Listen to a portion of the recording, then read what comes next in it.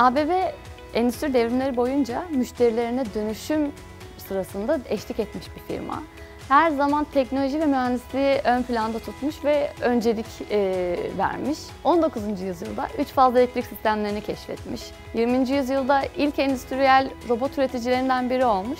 21. yüzyılda da aslında dijital dönüşümün bizdeki adı ABB Ability. 130 yılı aşkın bir inovasyon geçmişine sahip olan ABB aslında dört ana iş kolu altındaki ürün, çözüm, sistemlerin hepsini ABB Ability çatısının altına toplamış durumda.